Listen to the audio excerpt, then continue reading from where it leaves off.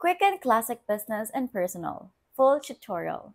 In this video, I'll walk you through Quicken Classic Business and Personal so you can manage your money with confidence.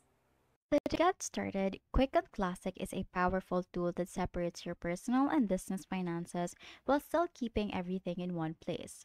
It's ideal for freelancers, small business owners, or anyone juggling both sides of their financial life.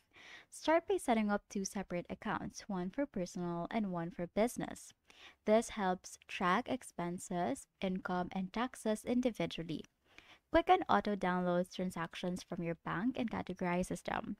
You can edit or split categories if something's misfiled.